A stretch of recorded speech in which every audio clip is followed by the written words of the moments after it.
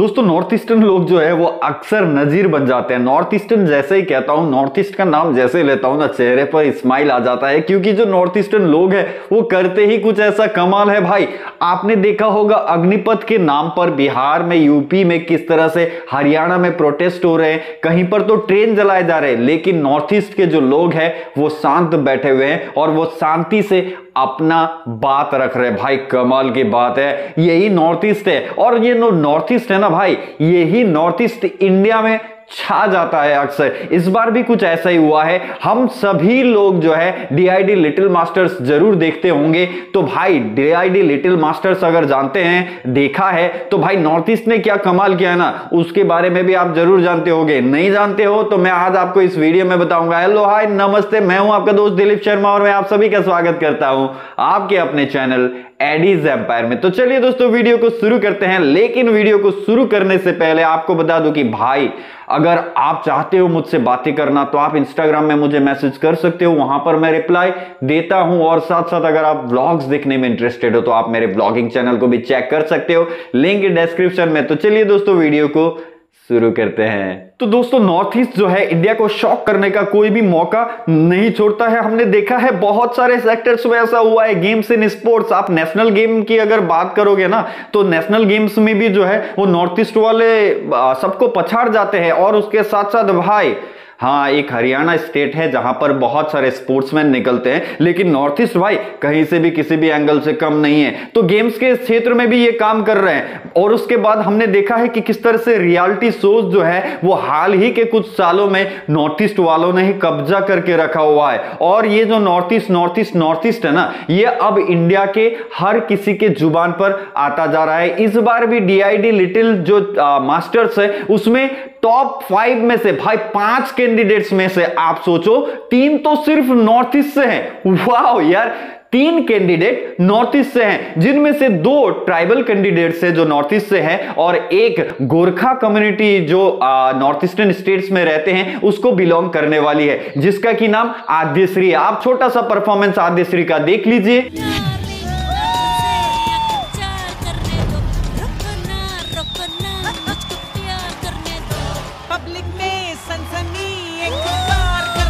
तो गाइज़ ये थी आद्यश्री इसको देखा होगा आपने बहुत ही क्यूट सी आ, लड़की है और ये नॉर्थ ईस्टर्न स्टेट असम में सिलापथर नाम का एक जगह है उस जगह को बिलोंग करती है और ये गोरखा कम्युनिटी कम्युनिटी से आती है। इसकी अगर बात की जाए तो जजेस इसे काफ़ी ज़्यादा प्यार करते हैं क्यूटी सी बंदी है बहुत छोटी सी है तो इनको बहुत ज़्यादा प्यार मिलता है। साथ साथ इनका डांस परफॉर्मेंस भी बहुत अच्छा है। तो आप चाहे तो इनको विनर बना सकते हो। भाई हमारे पास चॉइस है हम तो बहुत बेहतर बेहतर लोग हैं ना हमारे पास चॉइस ही चॉइस है तीन चॉइस हमारे पास है।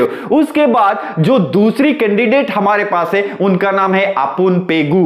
अपुन पेगू ये भी नॉर्थ ईस्ट की ट्राइब ट्राइबल कम्युनिटी को बिलोंग करने वाली एक लड़की है जो कि आसाम की मिसिंग ट्राइबल कम्युनिटीज को बिलोंग करती है। मिसिंग ट्राइबल कम्युनिटी से ये आती है और इनका परफॉर्मेंस भाई कमाल का है आप देख तो लो एक क्लिप क्या बात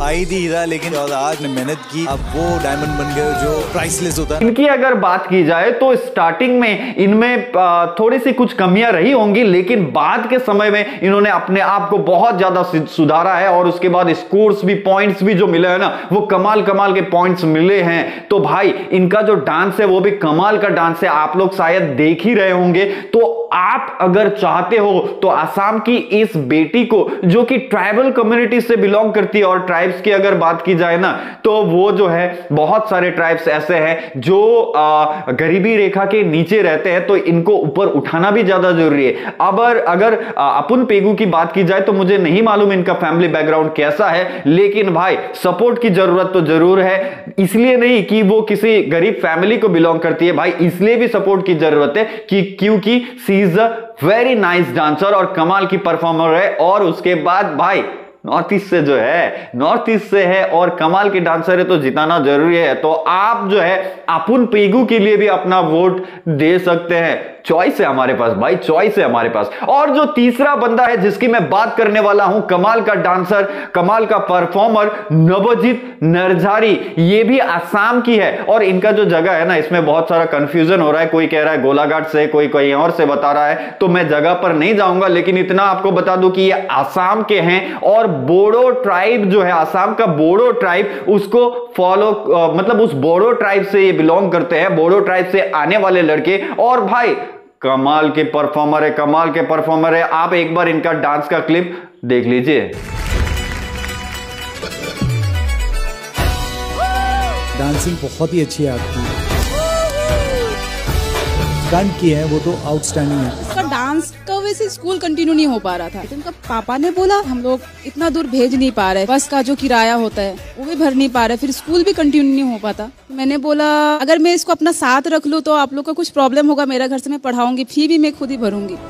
दीपिका नवजीत को डांस फ्री में सिखाती है। खाना, पीना स्कूल जाना, सब ध्यान रखते हैं। इतना कस करके इतना दूर पहुँचा एक पिता होने के नाते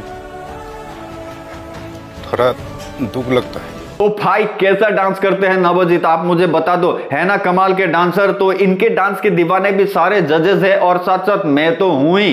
तो ये जो है, ये हमारे पास थर्ड चॉइस है। और इनकी अगर बात की जाए ना तो मुझे मुझे पर्सनली ऐसा लगता है, मेरी तरफ़ से अगर वोट की बात की जाए तो मैं जो है, मैं नहीं बताऊँगा छोड़ो आपके ऊपर छोड़ देता हूँ किसको देना है। लेकिन नवजीत की अगर मैं बात करूँ तो नवजीत जो है वो अपने घर से दूर रह रहे हैं। उनके पापा कहते कहते रोज आते हैं कि हमें अपने बच्चे को अपने से दूर रखना पड़ रहा है। किसी उनके जो डांस टीचर है वो उनके साथ ही रह करके पढ़ाई भी करते हैं और डांस भी सीखते हैं। तो ऐसे बंदे को आ, मुझे जहाँ तक लगता है तो इनको वोट दे करके अगर हम जिता देना तो ये भी अपलिफ्ट ज़रूर हो जाएँगे। बहुत सारे लोग कहेंगे भाई इनको वोट दे करके मुझे क्या फ़ायदा? फ़ायदा हो या नहीं? लेकिन अपने किसी नॉर्थ ईस्टर्न को सपोर्ट करना, जबकि उसके अंदर टैलेंट है तब। अगर किसी के अंदर टैलेंट नहीं है, या फिर अगर वो कुछ गलत कर रहा है तो उसका सपोर्ट नहीं करना चाहिए। लेकिन भाई, किसी के अंदर खूबी है, कोई कुछ कर सकता है तो उसको सपोर्ट क्यों नहीं किया जाए? जबकि उस सपोर्ट के लिए आपको पैसा भी नहीं देना है। हाँ बहुत सारे लोग पैसा देने के लिए हिचकिचा सकते हैं तो यहाँ पर पैसा भी तो नहीं देना है। तो क्यों नहीं सपोर्ट कर सकते हैं हम इन तीनों कैंडिडेट्स का? और मैं आपको बताऊँ कि देखो तीन तीन कैंडिडेट स्टेट हमारे नॉर्थ ईस्ट से है असम से बिलोंग करते हैं, जिनमें से दो जो है वो ट्राइबल कम्युनिटी से बिलोंग करते हैं, एक गोरखा कम्युनिटी से बिलोंग करती है। तो इन तीनों के, हमारे पास तीन तीन चॉइस है। इन तीनों में से आपको किसे जिताना है ना, आप उसे ज़रूर वोट कीजिएगा। मेरा वोट भी तीनों में से एक को, दो को ज़रूर जाएगा, क्योंकि एक एक वोट एक इंसान दो वोट कर सकता है तो मैं दो को ज़रूर वोट करने वाला हूँ। और मेरी तरफ़ से कोशिश ये रहेगी कि जिनको मैं वोट करूँ, वो जीत जाए। तो भाई, आप क्या सोचते सोचते हो, आप किसे वोट करने वाले हो, किसे जिताने वाले हो, उनके परफॉर्मेंस के अकॉर्डिंग क्योंकि हमारे पास तीन तीन कैंडिडेट है ना नॉर्थ ईस्ट से आसाम से तो आप किसी को भी जिता सकते हो। तो जिसको जिताना है, आप उसको जिताए। भाई, यही बताने के लिए वीडियो बनाया था। वीडियो कैसा लगा, ज़रूर बताइएगा। और अगर वीडियो आपको अच्छा लगता है तो लाइक करके कमेंट करके, आप क्या सोचते हैं इस बारे में, ज़रूर बताइएगा दोस्तों। अभी चलता हूँ, मिलूँगा नेक्स्ट वीडियो में। लेकिन जाने से पहले आपको बता दूँ कि भाई, अगर आप चाहते हो मुझसे बातें करना तो इंस्टाग्राम में बातें कर सकते हो। लिंक डिस्क्रिप्शन में और साथ साथ। अगर आप ब्लॉग्स में इंटरेस्टेड हो तो मेरे ब्लॉगिंग चैनल को भी सब्सक्राइब कर सकते हो। लिंक डिस्क्रिप्शन में। अभी चलता हूँ, मिलूँगा नेक्स्ट वीडियो में कुछ नया, कुछ इंटरेस्टिंग लेकर। तब तक के लिए बाय जय हिंद, जय भारत।